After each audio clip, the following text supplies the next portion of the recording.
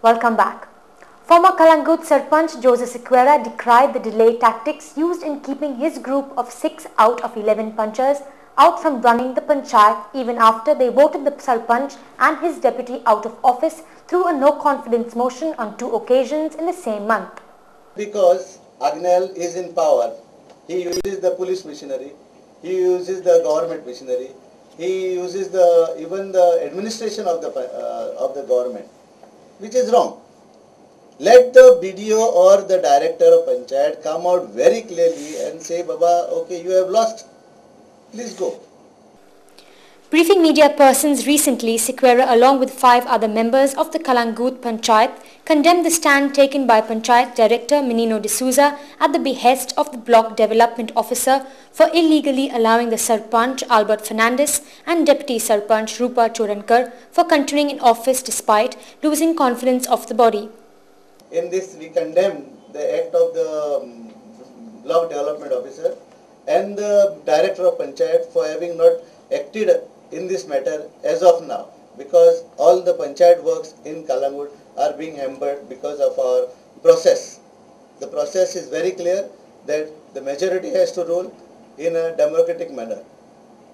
On 1st August, amidst high drama wherein Sequeira was stabbed while entering the panchayat office to attend the no confidence motion, he had to move against the incumbent sarpanch and deputy. Despite the attack, the motion was put to vote and passed. However, the director of Panchayat held that process was not followed, hence the incumbent continued in office. Agreed by the order of the director of Panchayat, Joseph moved the High Court. In its order, division bench of the High Court directed to hold the no confidence motion again and appointed BDO Shiv Prasad Naik as its observer. Hence, the same was held on 21st October, during which only six members were present.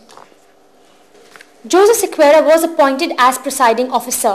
While all the five from his group voted in favor of the motion, he himself did not cast his vote. However, BDO Naik in his report to the director of Panchayat held that as only five had voted the motion was defeated as the strength of the Panchayat is 11. Sequeira now claims that BDO misinterpreted section 51 of Goa Panchayat Raj Act 1994.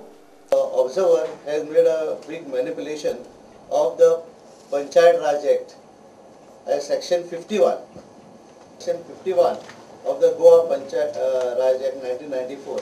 Any person shall automatically remove from the post of deputy sarpanch if the no confidence motion is passed by majority of total members of the panchayat. Every sarpanch or deputy sarpanch for which we deem to have vacated his office if a resolution expressing vote of confidence in him is passed by a majority of total members of the panchayat at a meeting specially convened for the purpose. Mr. Sequeira now claims that he has made a presentation to the director of Panchayat to either hold election for the post of Sarpanch and Deputy Sarpanch or threaten to knock on the doors of the High Court again. 410 uh, all the uh, six members have made a representation to the director of Panchayat to call the election to fill up vacancy in the office of Sarpanch and Deputy Sarpanch. Until that, until date, there is no reply from him. Uh, Young Indians, a group of entrepreneurs, managers and professionals promoted by Confederation of Indian Industry.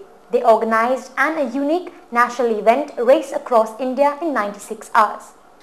The basic aim of the YI was to influence, inspire and motivate millions of students across the country. One of the young enthusiasts Rahul Mirchandani summed up the event for us. The objective is one, of course, the fact that we had uh, to bring students together from uh, you know, from all over the country on a, on a national platform. Secondly, we wanted to have, uh, we, we wanted to bring them together on a national platform. Second was the fact that we wanted our students to actually showcase their strategic skills, leadership ability and team building because the whole objective of India 96 hours is to actually get leadership, creativity and team building to be showcased.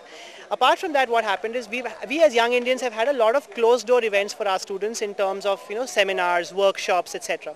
But they have a lot of energy and we wanted to showcase the energies of our students on the streets of the four corners of India.